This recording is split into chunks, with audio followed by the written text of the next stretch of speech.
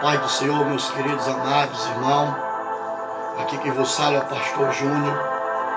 Exatamente neste horário, à meia-noite. E nós estamos entrando